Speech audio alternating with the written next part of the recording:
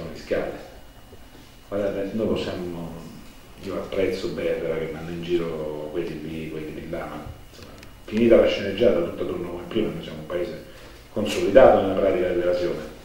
C'è un solo modo perché non si evada più, quello che fanno tutti i paesi civili del mondo, che hanno fatto un dipartimento del Ministero di Grazia e Giustizia che si occupa solo delle evasioni, che non fanno per esempio come Callisto Tanzi un processo che dura 20 anni con 10.000 contestazioni di evasione che quando avremo finito di contestarglielo non ci sarà più né sanzione penale né quella pecuniaria. Funziona in maniera diversa da loro. Da loro è previsto che l'udienza duri un giorno,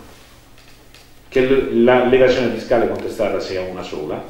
e non fa differenza se hai evaso 500 euro o ne hai evasi 5 milioni, ma alla fine di quell'udienza, siccome non è sanabile con sanzione, il tribunale, bene che ti va, ti irroga, se sei fortunato tre anni, se no ci manda in galera per sette.